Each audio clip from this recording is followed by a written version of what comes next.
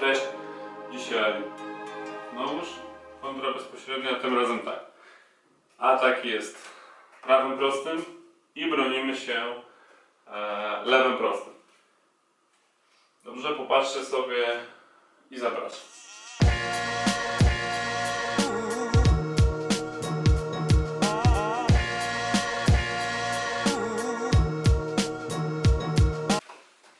Tutaj istotną rzeczą jest miejsce, w które staramy się trafić. Popatrzcie z tej pozycji. Jeśli uderza prawy prosty, tak, to tutaj odsłania nam część tułowia, gdzie jest wątroba. No, w jego przypadku to jest mniej więcej gdzieś tutaj. I teraz tak.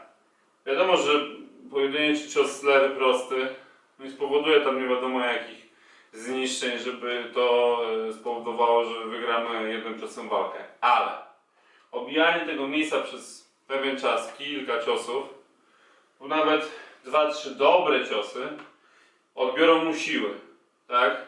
Uderzenia na wątrobę, na tułów odbierają siłę do walki, tak? Nazwijmy to kondycję, tak?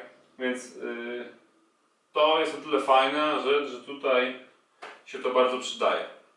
Dobra, pozdrawiam, cześć.